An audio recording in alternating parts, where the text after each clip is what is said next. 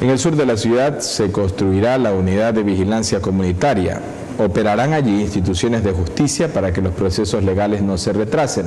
Esta unidad afirman que funcionará las 24 horas con la finalidad de que los delitos, sobre todo los que son eh, delitos flagrantes como asaltos, robos, estruches, sean juzgados con celeridad. La gobernadora de Esmeraldas, Paula Cabezas, la mañana del miércoles realizó un recorrido por la infraestructura donde funcionará la unidad de vigilancia comunitaria VC.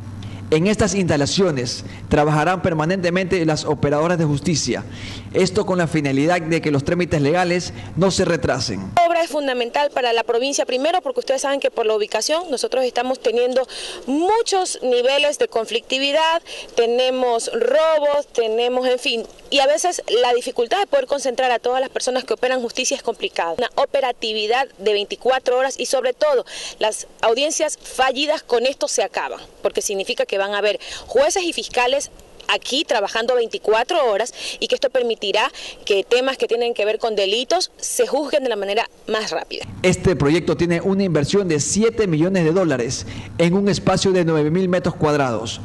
El diseño está hecho para que las instituciones como el Registro Civil, DINAPEN, Fiscalía y Policía Judicial tengan su departamento. Además contará con parqueadero, cuartos para efectivos policiales y tres celdas para las personas que sean detenidas.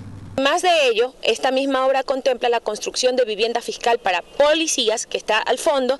Esto también permitirá obviamente un equipamiento. Bueno, en fin, la idea es poder dotar a la Policía Nacional de toda la infraestructura que les permita trabajar cómodamente y obviamente a los operadores de justicia que estén ubicados acá. El ingeniero Hugo Montaño, quien está al frente de la obra, indicó que esta nueva institución de seguridad contará con equipos tecnológicos que estarán conectados con una empresa de los Estados Unidos, por lo que son equipamientos de última tecnología. Para ello, el administrador que vaya a operar debe ser capacitado. Equipos Cisco solo se los produce en Estados Unidos, no lo producen en ninguna otra parte.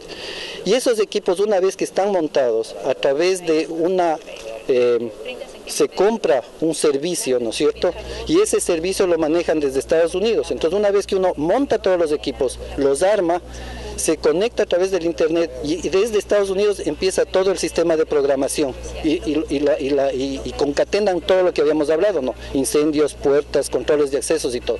Si algún rato el administrador tiene un problema, el administrador del proyecto lo que hace es conectarse con Estados Unidos y decirle tengo este y este problema y desde allá le solucionan.